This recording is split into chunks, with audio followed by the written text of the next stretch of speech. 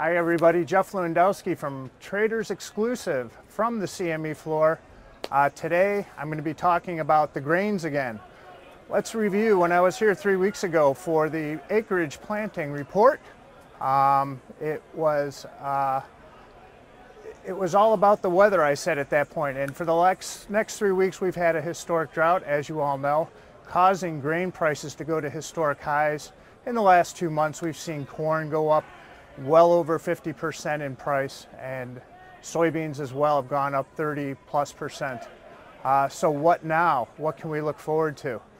Well, the uh, progress report of the crops has been very poor. In fact, it's rated poor for almost 60% of the corn that is reflected in the prices. Uh, the soybeans as well uh, are, are having upward price pressure.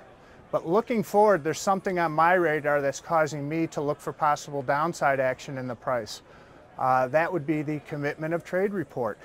If you look at this report, you will see uh, very large short positions taken by the uh, commercial traders.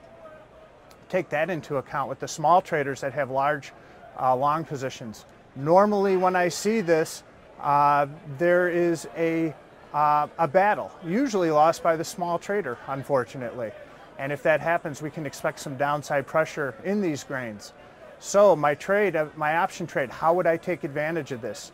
Well, I think we should look at some put spreads. If we're looking out at the months that apply to these crops, which is December for the corn and November for uh, the soybeans, we have a lot of time left in these, in these options, over 100 days in the December options and just under 100 in the November. So buying some premium, we're not gonna have right now, we're not gonna have a lot of exposure to decay. So look at some put spreads out in, in the corn and the beans to take advantage of some downside pressure. Uh, with, with what's going on, you can look at some far out of the money put spreads. We've had some historic moves, as we said.